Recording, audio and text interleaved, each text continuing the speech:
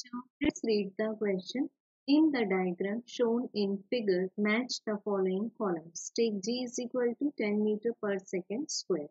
तो बच्चों गिवन है हमें एक ब्लॉक जिसका मास है 4 के और इस पर एक फोर्स लगाया जाता है 20 स्क्वायर रूट टू न्यूटन का and angle of force with the horizontal is given as 45 degree अब बच्चों coefficient of static friction given है 0.8 and that of kinetic friction is 0.6 तो हमें फाइंड करना है normal reaction force of friction acceleration of block तो बच्चों, सबसे पहले तो इस ब्लॉक का फ्री बॉडी डायग्राम कंस्ट्रक्ट कर लेंगे।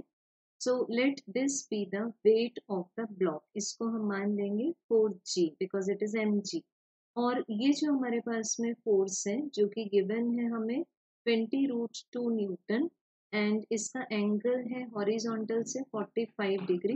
तो इसको दो कंपोनेंट्स में ब्रेक कर देंगे। First is the horizontal component जो कि 20 square root two cos 45 degree होगा। अब बच्चों, cos 45 degree as well as sine 45 degree, दोनों की वैल्यू आती है one by square root two तो ये आ जाएगा हमारे पास में 20 न्यूटन। Similarly, जो vertical component है that is also 20 square root to sin 45 degree तो इसका भी आंसर आ जाएगा 20 न्यूटन तो बच्चों अब हम ले सकते हैं कि इस ब्लॉक पर ये फ्लोर कितना नॉर्मल रिएक्शन एक्सर्ट कर रहा है.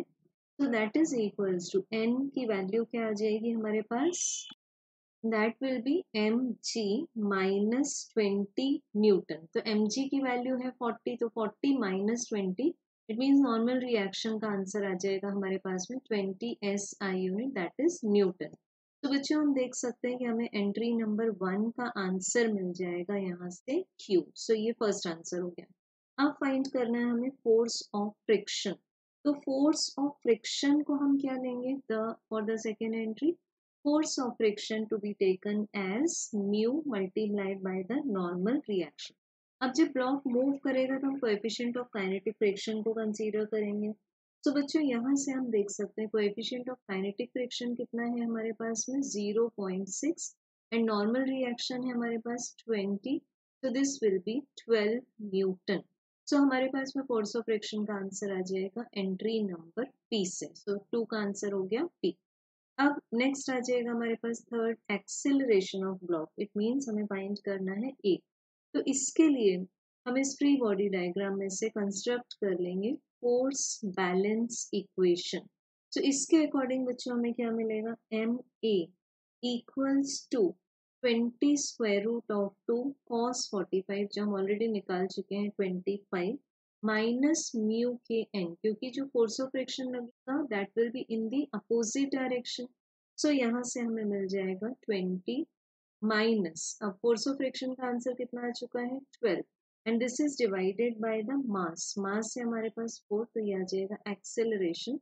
so, this is equals to 2 meter per second square. So, entry 3 का आंसर आ जाएगा हमारे पास में एस तो अगर हम सीक्वेंस चेक करें this is Q p S तो बच्चों करेक्ट आंसर हो जाएगा option number three thank you